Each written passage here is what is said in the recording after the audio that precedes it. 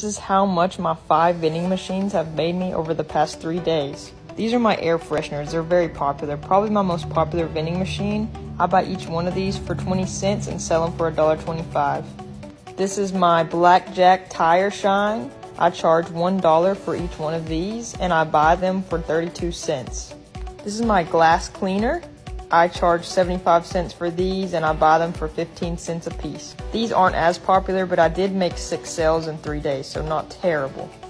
It's still a nice little convenient thing to have to offer your customers. These are very popular. They're your interior sponges. I sell these for 75 cents and I buy them for 20 cents. They're Armor All brand as well. Next up, we have the giant absorber towel. As you can see, about half of these are sold in just three days. I buy these for 5 cents, sell them for 50 cents, and they're just a little nice thing to have. Here are the total amount of quarters I have for 3 days from vending machines.